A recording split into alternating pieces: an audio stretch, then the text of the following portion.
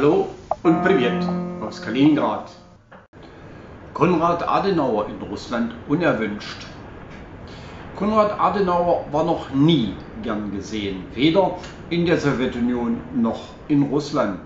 Einige 1990 ist Konrad Adenauer in Form der Stiftung, die seinen Namen trägt, dann in die Sowjetunion zurückgekehrt und nach dem Dezember 1991 in Russland verblieben.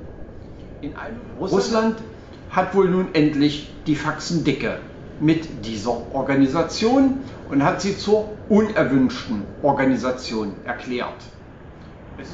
Und dafür müssen deren deutsche Mitarbeiter weiter in Russland verbleiben und das Verhaftungsrisiko ertragen.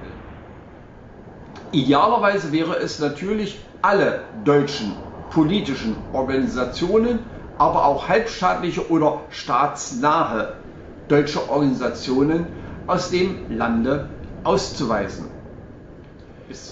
Die Tendenz der außenpolitischen Arbeit der Russischen Föderation im Verhältnis zur sogenannten Bundesrepublik Deutschland ist also eindeutig wie man sagt, ein deutsches Sprichwort, lieber ein Schrecken ohne Ende als ein Ende ohne Schrecken.